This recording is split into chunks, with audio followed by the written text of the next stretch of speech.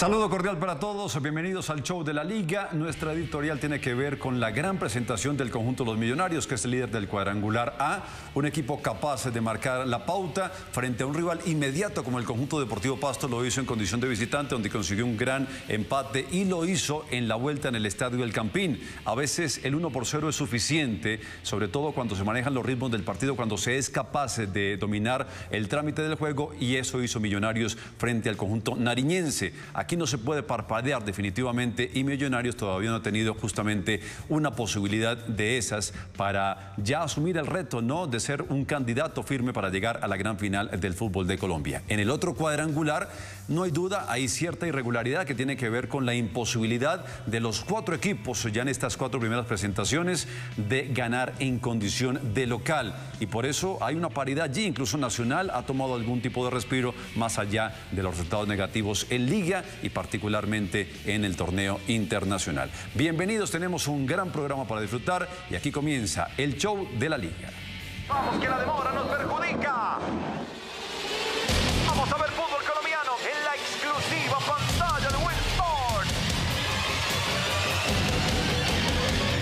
Seis puntos que sí hemos ganado, pero, pero no hemos ganado absolutamente nada.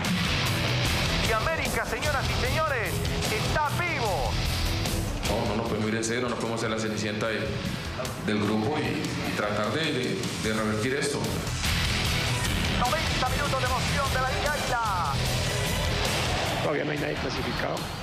Millonarios sacó una ventaja. A través del año ha sido el mejor. Paso segundos, 7 unidades. Jugamos al fútbol, ¿no? Siempre le he pedido a Millonarios que juguemos al fútbol, que nos olvidemos de las porquerías del fútbol.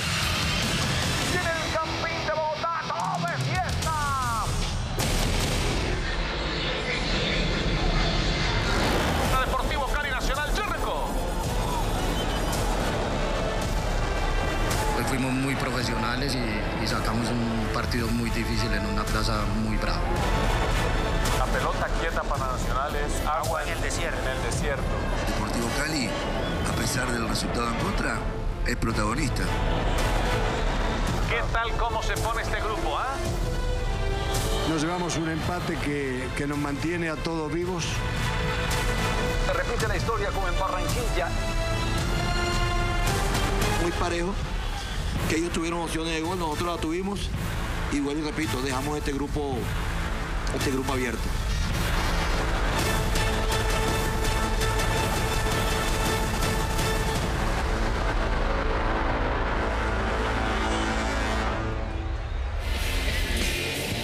Bueno, bienvenidos, entramos en materia. Sergio, como leído, un abrazo, feliz tarde.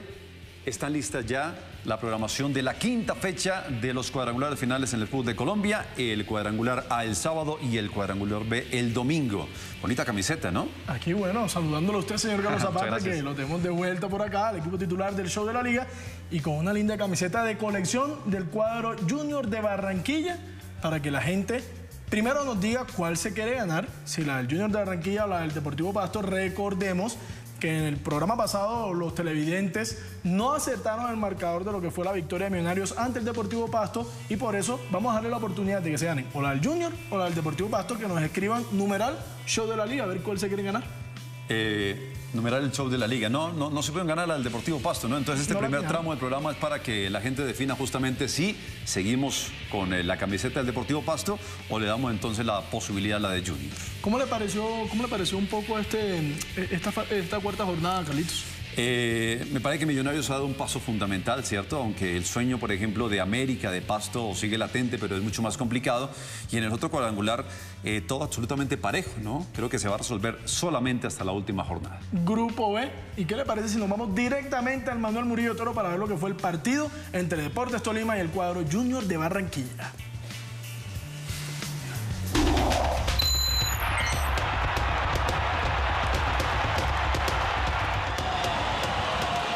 Bueno, el show de la liga en el estadio Manuel Murillo Toro en Ibagué con Deportes Tolima y Junior. Junior tuvo varias posibilidades en el arranque del partido. Eh, arrancó con, mucha determinación, pero después se fue quedando, ¿no? Yo creo que quiso aprovechar los viajes del conjunto de Deportes Tolima, primero a Bolivia, después a territorio argentino, y, y después eh, creció, no hay duda, el conjunto de Alberto Camero. Creció y aquí precisamente vemos la primera oportunidad del Deportes Tolima que se transformó en gol. Sergio Mosquera, defensor, muy bien como gana, muy buena saltabilidad, timing, después del centro de Cariaco González, remate certero abajo, que no pudo hacer nada el arquero Sebastián Viera. Muy bien lo decía Carlitos, los arqueros fueron figura hasta donde pudieron porque soportaron muy bien en su arco hasta cuando les dio. En su primer momento, bueno, Sebastián Viera pudo haber obtenido un gol más en el segundo tiempo, sobre todo a, manos de, de Deportes Tolima, de Marco Pérez, y Álvaro Montero también soportó bastante los embates del cuadro barranquillero. Sí, tuvo mucho problema Junior en, en, el tema de la profundidad, ¿no? Con Teófilo Gutiérrez, con, con Luis Díaz, está jugando muy distante la portería. Y después del primer gol, eh, Deportes Tolima tuvo la posibilidad de ampliar el resultado pero no lo pudo conseguir. ¿Se acuerda que en el juego de ida marcaron de golpe de cabeza? Lo hizo Quiñones, bueno, ahora lo hizo su compañero justamente, pero esta vez arrancando a favor del conjunto tolimense. Y hasta muy bien lo resumió el profesor Julio Comezaña en las ruedas de prensa donde se le ha preguntado, y es que han sido partidos tan parejos que los cuatro goles en los dos partidos, tanto ida como vuelta entre estos dos equipos, se ha definido con acciones a balón parado. Entonces eso también marca un poco cómo, cómo se está jugando y también esa incertidumbre, esa inseguridad también que no le permite soltarse a los equipos de pronto demostrar un poco más de lo que, de lo que sabemos que tienen. Es cierto. Eh, a propósito del balón eh, detenido, los dos tienen fortaleza, ¿no? Pero también debilidades cuando justamente esa pelota es, es en contra. Aquí Marco Pérez se perdió la posibilidad de ampliar el resultado. Porque después cayó, cayó Junior en términos defensivos, ¿no? Volvió a ser eh, aquel equipo con, con muchos problemas en la zona de filtro y en la parte posterior. Sebastián Viera evitando una opción más de Marco Pérez. Aquí vemos a James Sánchez que volvió nuevamente a jugar como lo había hecho en el semestre anterior, tirado más sobre la banda en esa línea de tres acompañando a Víctor Cantín y Luis Narváez. Luis Díaz, a diferencia del partido anterior, no jugó de doble punta al lado de Teófilo, sino más tirado hacia la izquierda como lo venía haciendo. Aquí en esta oportunidad lo vemos sobre la derecha. Y bueno, y Teófilo como hombre en punta Inicialmente, bueno, Sebastián Hernández fue el que inició, pero después hubo el cambio por Fabián Zambuesa. Aquí vemos uh, una opción importante de Marlon Piedradita, que no pudo definir, creo que un poco a maltraer después de muy buena mague. Y ahí con la pierna inhábil no pudo definir. En el primer tiempo estuvo Luis Díaz eh, todo el tiempo por la zona izquierda, ¿no? Después comenzó a cambiar progresivamente la zona central y ya cuando abrió la cancha interpretó diferentes situaciones, incluso esa jugada se da así. Y está de James Sánchez, otra vez la respuesta oportuna del arquero Álvaro Montero. Poco a poco se ha venido viendo la mano del profesor Julio Comezaña. Aquí vemos cómo el señor Gabriel Fuentes en una avivada porque él le ganó muy fácil a Nené Correntería. En otras repeticiones se ve bien que Nené Correntería era el hombre que lo tenía. Picó al primer palo y definió. Le iba a comentar, Carlitos, que hombres como Gabriel Fuentes, James Sánchez, incluso, han retornado pronto a ese nivel o, van subiendo poco a poco, paulatinamente, ese nivel que le conocíamos tras ese infortunio que, que brindó en ese, en ese pequeño espacio que tuvo el profesor Luis Fernando Suárez, donde los jugadores de pronto no se encontraban y, bueno, no encontraron también su nivel a comparación del año anterior. El centro de Campas que ingresó en el segundo tiempo y después la decisión del árbitro, ¿no? Porque la falta del chino Zambuesa era desde atrás sobre Vanguero y ya tenía tarjeta amarilla por una reclamación, doble tarjeta amarilla y se fue expulsado del partido. También un dato particular de Fabián Zambuesa, dos rojas en cinco partidos que ha disputado con Junior consecutivamente, o sea, dos rojas consecutivas en tan solo cinco partidos. Nadie se lo esperaba, ¿no? Uno por uno, Deportes Tolima y Junior de Barranquilla. Pues mire cómo está el tema del cuadrangular semifinal B, Tolima 1, Cali 1, Tolima 1, Junior 1, eh, Junior 0-0 frente a Nacional, Junior 1-1 frente a Tolima, Cali 1 no pudo en casa, Junior 2, después se perdió justamente frente a Nacional y Nacional pues también ha perdido sus dos partidos frente al conjunto Deportes Tolima. Ahí está pues el, balance justamente de, lo que ha pasado. Ningún local ha podido ganar en casa, increíble, ¿no? Eh,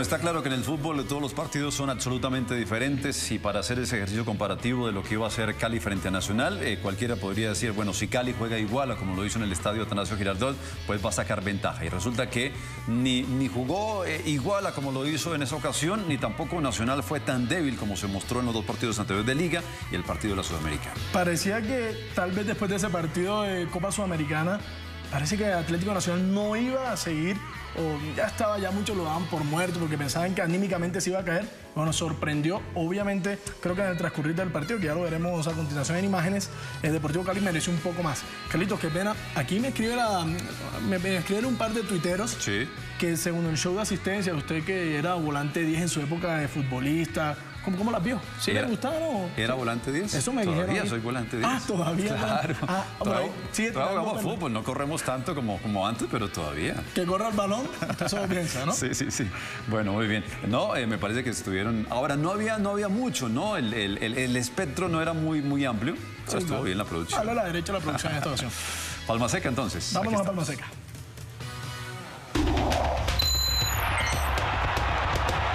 Bueno, contribuyó en el, en el eh, triunfo de Nacional también el empate en Ibagué, ¿no? Eso le dio vida porque en la medida en que no ganó ninguno de los dos no le tomó ventaja. Justamente hubiera sido matemáticamente muy complejo el asunto para poder seguir soñando.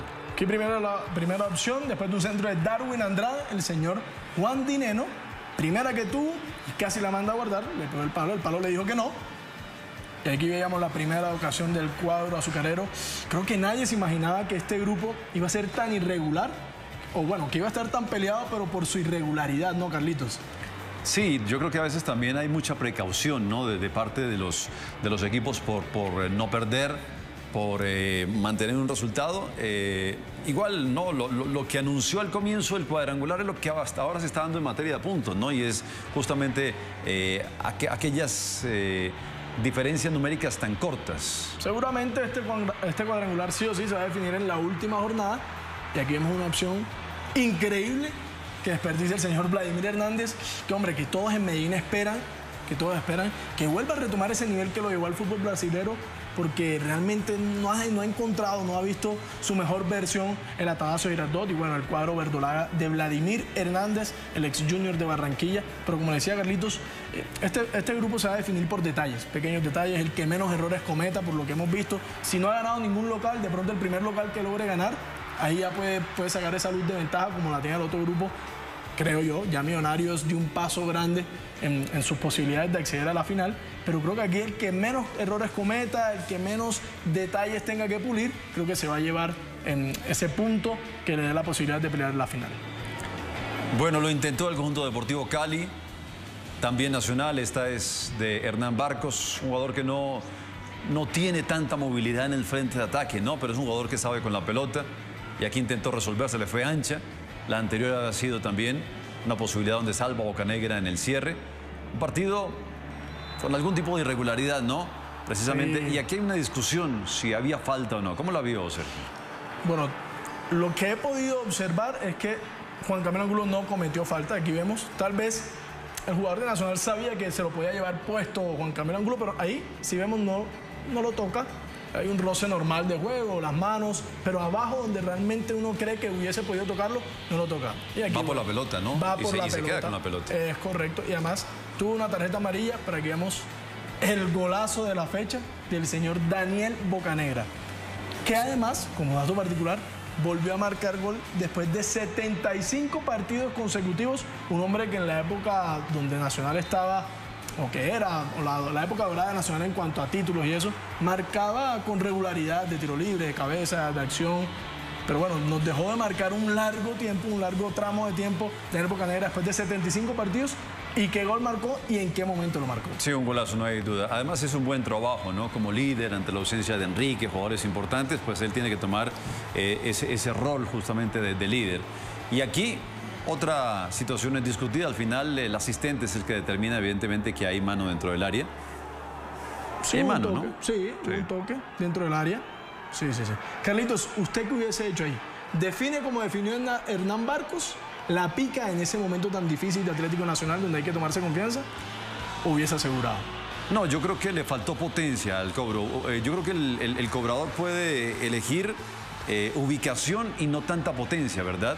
Pero es que aquí eh, se, quedó, se quedó muy corto el remate y además también tiene que jugar con la intención del arquero. Si usted ve que el arquero se juega abajo, ¿cierto? Pero el arquero siempre está arriba, siempre está en, en puntita de pies y, nunca escogió uno de los costados. Así es que ahí se apresuró Hernán Barcos y me parece que, que cobró muy, muy displicente. Aquí vemos la última jugada del partido, la cara de Juan Camilo Angulo, después de que ese, ese balón pasara cerquita, pero no pudo conseguir el empate en Palma Seca, 1 por 0, Es que rozó el palo, ¿ah? que rozó el palo a favor de Atlético Nacional. Hablando de tiros libres y de Daniel Bocanera, marcaron los últimos seis goles de tiro libre en Nacional.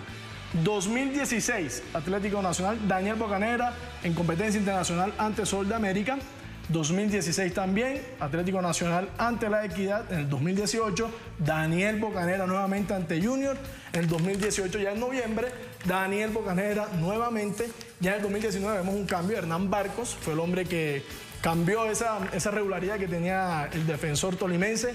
Y el último, el que acabamos de ver, el golazo del jugador nacido en el Tolima Grande, en la victoria ante el Cali. ¿Qué le parece si nos vamos a una pausa, Carlitos? Me parece maravilloso ya regresamos con los dos partidos que nos restan.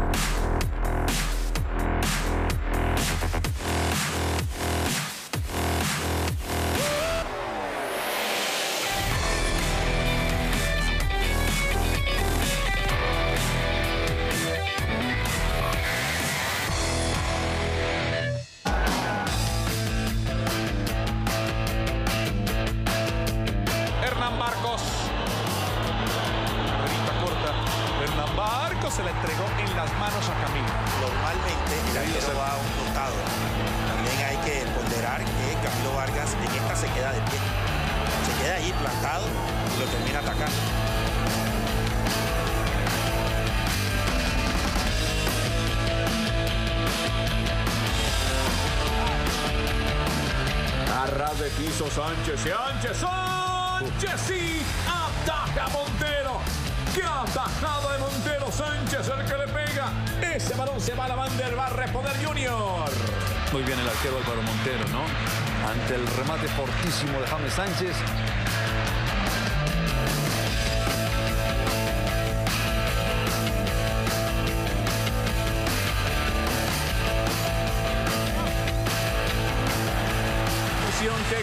Aquí Balanta. Ras de piso.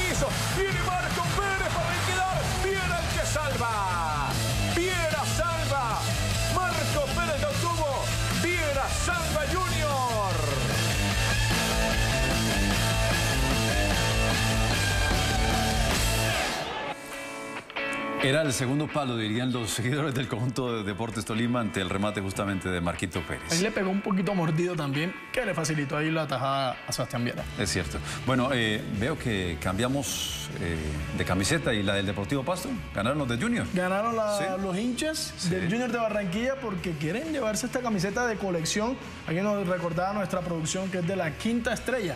Esta camiseta, Es una camiseta retro. una camiseta Bueno, retro. muy bien. Linda para que las personas se la lleven. Sí, sí, sí. ¿Y sabe cómo, cómo se la puede llevar la gente? No, Sí. no sé. Ah, bueno. Le comentará a la gente, a usted también, Carlitos, que marcando ahí al numeral, al- el show de la liga, numeral, el show de la liga, adivinando el marcador. Vamos a hacer la misma dinámica que hicimos la semana pasada con la camiseta del Pasto, pero esta vez con la del Junior, marcando el numeral de la liga. Nos pueden decir cómo va a quedar el partido en el Metropolitano de Barranquilla entre Junior y Deportivo Cali. Así de fácil. marcador. Así de fácil. Maravilloso. Aquí todo es tranquilo. Bueno, vamos al estadio El Campín, triunfo de Millonarios frente al conjunto Deportivo Pasto. Millonarios asumió el liderato del cuadrangular A en el fútbol de Colombia.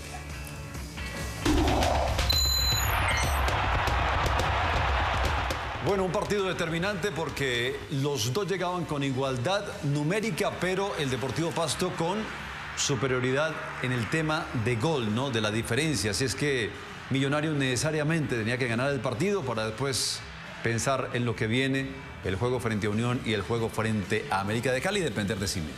Creo que el partido se dio como todos lo esperamos. Un partido bastante ríspido, trabado, en, en la mitad de cancha bastante luchado y con una acción que podemos decir, no sé si tanto aislada como un tiro libre, un tiro penal un remate de afuera, pero fue una acción donde nadie se esperaba y con un actor principal que tampoco está en los planes y menos de la manera como se dio, ya lo veremos más adelante. Qué bien Macalister Silva, ¿no? En dos o tres ocasiones se dio la pelota. Mire el banco de conjunto de Millonario porque Juan David Pérez hizo lo más complejo de la jugada, en una pelota alta, hizo el control dirigido de pecho, eh, pero después no la, no la pudo atacar en el aire, ¿no? Estaba frente a la portería de Neto Volpi, no lo pudo resolver. Jugó muy bien Macalister Silva, que cuando lo tiran a un costado lo hace bastante bien, cuando asume el, el, rol de volante creativo y de filtrar y de tener una gran visión periférica, también es capaz de ello. Realmente es un gran jugador. Aquí vemos el cambio, el cambio determinante porque salía Cristian Marrugo que no tuvo un gran partido y entraba Santiago Montoya, un hombre que ha venido alternando en esa posición, aunque últimamente Cristian Marrugo ha auspiciado más como titular y vemos la acción. César Carrillo controla, y ahí un centro delicioso para un cabezazo de Santiago Montoya. Habría que preguntarle a Santiago Montoya cuántos goles de cabeza habrá marcado en su, en su historia, en su carrera profesional. Sí, ese es el segundo apenas de la temporada, la ha marcado América. Eh, mire que Henry Rojas teóricamente es el hombre que debe, que debe tomarlo, pero y por eso levanta la mano y pregunta, ¿y en dónde están los defensores centrales? ¿Cierto? Es que e, esa posición, más allá de que en 16,50 se marque en el orden individual, los defensores centrales tienen que estar posicionados en, en, en, su puesto, no deben transformarse, porque además no era ni un tiro de esquina, era un centro de costado, tendría que estar allí justamente para evitar el cabezazo y cualquier tipo de jugada compleja.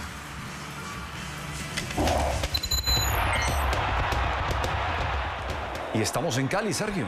Pascual Guerrero, un partido que realmente llegaba para brindarle más opciones a la América de Cali en su lucha por cortar esa, esa hegemonía que tiene Millonarios y el Deportivo Pasto en el grupo A de nuestro cuadrangular final del fútbol profesional en Colombia. Vemos las primeras acciones, Fernando Aristegueta, muy bien César Girardo, hasta ese momento, deteniendo todas las, todas las aproximaciones que hasta ese momento tenía el cuadro Escarlata, pero que bueno, aquí en una acción desafortunada, ya la veremos, eh, vio cómo se, se venció su, su valla, ¿no? Sí, eh, ganó América con, con, su fútbol, con su mentalidad, pero también entendiendo que si adelantaba líneas iba, iba a robar balones importantes. Y mire que, que, un par de goles fueron así. Aquí el que la pierde es Abel Aguilar. Y después el infortunio para la gente del conjunto de la Unión Magdalena, porque si no era autogol, necesariamente llegaba un jugador de, América de Cali para poderlo resolver. Estaba Aristeguieta, estaba Jesús Cabrera, también el, el 10 del equipo ahí en, zona de peligro. Y el que la pierde aquí es otro jugador experimentado, ¿no? Sí, sí, señor. Algo que entendió Gerson González durante este transcurrir de los cuadrangulares es que a Jesús Cabrera, el hombre de la creación, el hombre de la imaginación, había que ayudarlo, había que ayudarlo, había que ponerle otro hombre que también tuviera ese mismo juego, ese, ese juego pensante.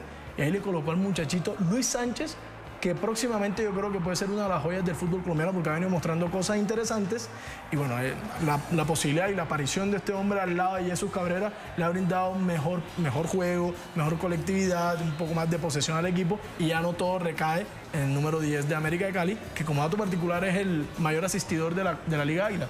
Es cierto. Ocho asistencias tiene el e Ese de Flores fue, fue importantísimo porque fue arrancando el segundo tiempo y ya eh, anímicamente pues diluyó la posibilidad de, unión y fortaleció, no hay duda, lo que estaba haciendo América. Y esta clase de, situaciones, en el caso de Bejarano, de darle seguridad en la parte de atrás también eh, obedecen a un buen trabajo de América y la falta de, de eficacia del conjunto de Unión Magdalena. 4 por 0 después de esta anotación de Fernando Aristeguieta. 4 por 0 definitivo para América de Cali. Vamos a una pausa y ya retornamos aquí al show de la liga. Bueno, estamos de vuelta, recta final y ya la despedida. Entonces recordamos el concurso para la camiseta, por favor, Sergio. Numeral el show de la liga para llevarse esta camiseta retro de Junior de Barranquilla, atinarle al marcador del partido el próximo domingo que disputará Junior de Barranquilla y Deportivo Cali en el Metropolitano. Eso el domingo, ¿no? Porque juegan además el Deportes Tolima frente a Nacional por el cuadrangular B y los partidos del día sábado, grandes partidos, no hay duda. Unión en Santa Marta frente a Millonarios y, por supuesto, América de Cali ante el conjunto Deportivo Pasto. Y nosotros volveremos la próxima semana, ¿no? Para analizar lo que nos dejará esa jornada número 5 de la Liga Águila. Nos vamos, Sergio, un placer. Vuelva, vuelva más seguido. Claro, invíteme, por favor. Feliz tarde, que la pasen bien. Gracias.